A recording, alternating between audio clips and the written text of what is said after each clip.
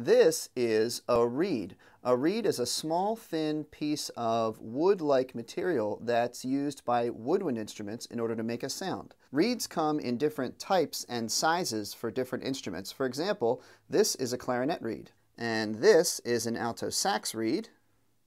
You can see it's a little bigger. This is an oboe reed, and it looks kind of strange. It's actually two little reeds tied together.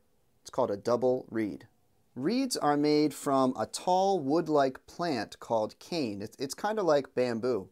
And at a factory, they take the cane, they cut it down into small pieces, and then they shave off part of the bark, very thin, and it turns it into a reed that we can use for an instrument. You have to be really careful when you're holding your reed because this thin end at the top will chip or break if you accidentally bump it up against something.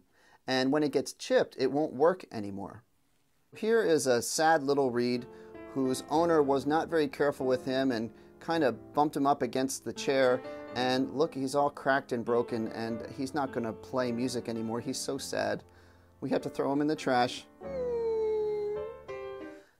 Now, even if you're really careful with your reed, you probably accidentally break a few reeds during your beginner lessons, so don't feel so bad about it. When you're not playing your instrument, your reed is stored in a reed case. Might look something like this. When you put your reed away, you have to very carefully place the thin end into the case and slide it in just far enough that it stays there. Here's another kind of reed case you might find. We put the bottom part of the reed in first and then the rest of the reed like that. Turn your reed over and look at the back. You'll see the name of the company that made your reed. This is a Rico reed. And you'll also see a number printed there. Can you see that number two? This number tells you the strength or the thickness of the reed. As a beginner, your reed strength is probably going to be a 2 or a 2.5.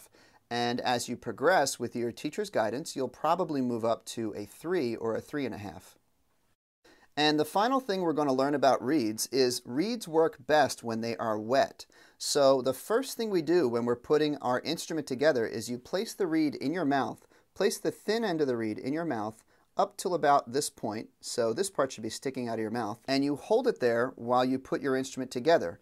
Don't put the entire reed in your mouth. Place the thin end of the reed in your mouth just up to where this bark starts here. If you don't want to put the reed in your mouth, you can use a small container of water like this and just set the reed in there to soak while you put your instrument together.